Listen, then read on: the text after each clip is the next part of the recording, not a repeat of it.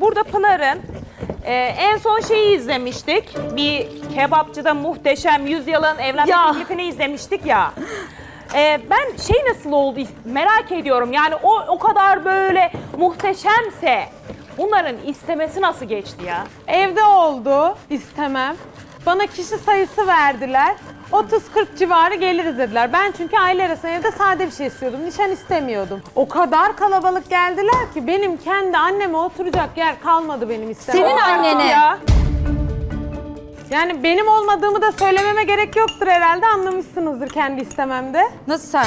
Sen yok muydun? Sen yokken seni nasıl vekilen mi verdiler? Nasıl verdiler? Şöyle anlatayım size. Ben mutfakta kahve yapıyordum. Ha. Ben daha kahveyi yaparken damat kahvesini bir baktım kayınvalidem geldi dedi ki seni istediler gir el öp. Aa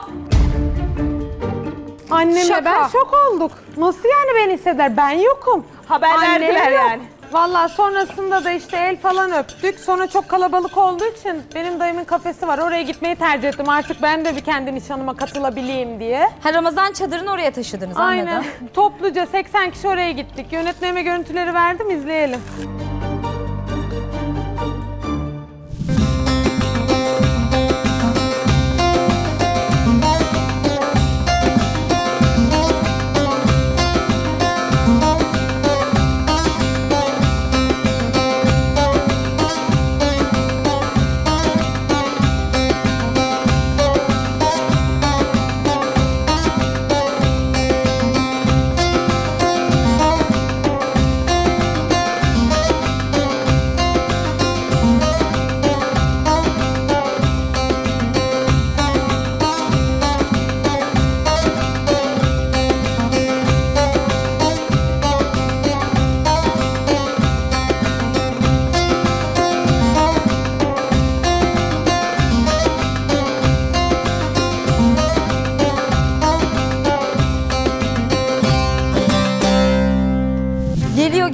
Olan. Neden gecelik giydin? Apar Gecelik topar, mi? evden apar topar çıktınız ondan Zarif mı? kırmızı bir elbise senin için gecelik mi canım? Zevkin bu mu Zarif senin? mi? Aynen öyle. Ben orada zariflik bir şey görmedim. Hadi sen gecelik giydin anladık. Neden eşin babanız babasının ceketiyle gelmiş? Kollar buraya kadar dökük. Neden Bir babasınınkine? kere mükemmel ve şık bir Ya zaten ceketi bunların vardı hiçbir şeyleri orada. normal olmadı ki. Mükemmel dediğin ceketin neden kolları bu böyle de bir tane Ama Tuna terzi? bilmiyorsun oversize giymiş ya. Belki adam moda yapmış Enişte ya. zaten oversize ihtiyacı yok ki. Tuğba'cığım sen bence farklı bir detayı kaçırdın asıl. Yani kayınvalidemin elbisesinin pullarından bence sen bizi görememişsindir. Vallahi en azından kayınvaliden senden daha çok özenmiş. En azından kadın oraya gecelikle gelmemiş senin gibi. Canım siz pek tarzdan anlamıyorsunuz herhalde. Ben o yüzden bizim tarzımıza uygun insanlarla muhatap Bir şey oluyorum. Kusura söyleyeceğim. Tarz ne? Adı ne? Bu tarz mı? Ben böyle bir Aynen tarz öyle bilmiyorum. canım, Tarz. Tanıştırayım seni. Bir şey tanış söyleyeceğim. Olmaz yani. Burada oturmaktan Kaç tarzı yaşında eşin? sen galiba. Eşin kaç yaşında? 25 yaşında. Sana yemin ediyorum şu an eşin kaç yaşında görünüyor biliyor musun o ceket yüzünden? Bir de rengi de renk değil. 40-45. en az 40-45 yaşında. Ya bir de neyse ya kıyafet tamam adamın tercihi bu geçtim onu da. Senin üstüne bir şey yapışmış ya da çarpmış herhalde. Yanlış görmüyorsam o 50 lira mı? 50 lira. Ben Canım gördüm. yalnız herhalde hep Türk bazında çalıştığınız için bilmiyorsunuz ama o 50 euro. Tanıştırayım seni euroyla. 50 euroymuş. Oo, Oo, 50 euro. Şimdi 50 lira takıldı herhalde. Ondan Tamam, şimdi alışkınsınız ona öyle 50 sandınız. euro dedi ya. Arttırıyorum. Ha, Hayır, Ayrıca- seçemedik. Çünkü üzerine bir şey yapışmış gibi duruyor. Yanlışlıkla çarpmış oradan geçerken. Tamam, hadi gönlünden 50 euro ya da TL bir şey geçmiş. Onu geçtim de. Ya şu pozda ne yapıyordunuz çok merak ediyorum. ansızın çekildi yalnız. Ya Pınar'cığım, e, eniştenin ya migreni tuttu, senin de tuttu. Başınız ikiniz de niye düşmüş böyle? Ya da siz hiç romantik değilsiniz. Ondan anlayamıyorsunuz mesela Ay değil mi? Yeşim, Ya mi- biz migrenim mi anlamıyoruz. tuttu? Bak. Kıyamam sana. Gel. Şu pozdan siz ne anlarsınız? Gel migreni tutmuş. Ben damat olayım. Gel. Canım sizin demek ki eşlerinizle max romantiklik seviyeniz bu yani. Biz ne Migrenim mi tuttu yapalım? hayatım? İki ayda Karanlık yere geçelim. zaten. Ya. İki İyi ayda misin? evlenmenizden belli aşkınızın büyüklüğü. Yeşim sen Migreni çok yorum tutmuş. yapma Ben gidiyorum. bence. 50 euromu da alıp gidiyorum buradan.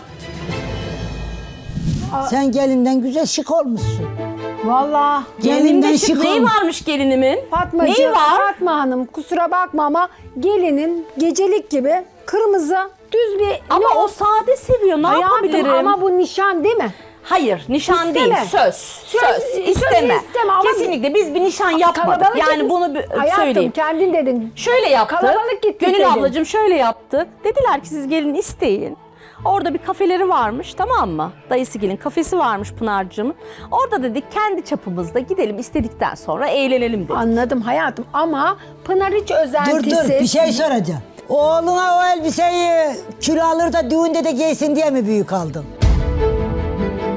Ben almadım kendisi almış çocuk. o ne Şimdi aldı? kilosu olduğu için bir şekilde o elbiseyi o şekilde Özel kilosunu, özel kilosunu kamufle etmiş çocuğun. Çap- Çok gibi. emanet gibi duruyor ama. Bak Hayır şimdi siz Emanet- öyle görüyorsunuz. Hayatım. Emanet gibi durmuyor. Şuna baksana. Sanki babasının takımını giymiş. Bir kere babasının takımını giyemez, babası ondan daha zayıf.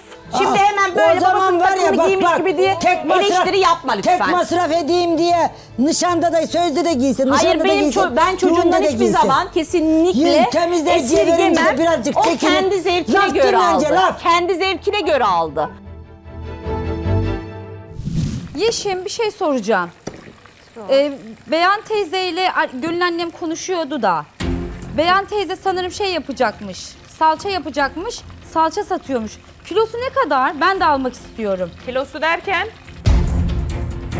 Yani salçanın kilosunu ne kadardan satıyor Beyan teyze? hayır yani tamam salça yapıyor da sattığını da şimdi öğreniyorum. Nasıl Böyle bir şimdi şey mi öğreniyorsun? söyledin Nasıl size? haberin yok? Nasıl öyle? Yeni Ya mi? konu şöyle aslında. Ya bu geldi bir gün. Dedi Hayır ki, ben ayrıntı merak etmiyorum. Kilosu ne kadar ben de Ya alacağım. ne kilosu ben sattığından haberim yok diyorum ben. Ha hiç bilmiyorsun. Sadece geçenlerde sal- salça yaptık. Acaba o konudan mı bahsediyorsun? Şimdi bana dedi ki, kızım dedi kayınpederin rahatsız şimdi evde yapmayayım geleyim sende yapayım dedi. Ha. Hatta dedim malzemeleri sen bana al dedi şu kadar bana liste verdi şu kadar. Bilmem kaç tane kavanoz. Sen İşte parasını kim verdi? Ben tabii ki. Hadi gel dedim. Yine bir şey demiyorum. Ben zaten çocukla uğraşıyorum. Onun derdine düşmedim. Geldi. Mutfağı görmeniz lazım. Aa. Salça, duvarlar, domates, parmak Ay. izi her yer. Evi hayal edin. Öyle bir ev. Rezalet. Evi öyle bıraktı. Temizlemedi mi giderken? Kavanozlarını topladı. Anlatıyorum. Ama Her sana ama topladı. şimdi sana da yapıyordur yani. Aynen öyle yani. Parasını verdi mi? Vermedi. Hadi dedim ki yine neyse. Çünkü biliyorum rutin Beyhan Öksüz. Ya insan geline bir kavanoz bırakmaz mı ya? Hiç bırakmadı Aa, mı? Yok.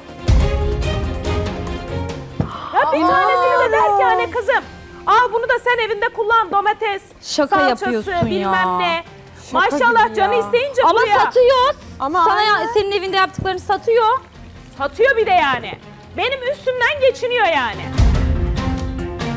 Klasik Ya. beyan öksüz diyorsun Bak yani. şimdi kendime kızıyorum. Yeşim sen niye şaşırıyorsun ki? Evet. Kayınvalidenin her yaptığında her seferinde niye şaşırıyorsun?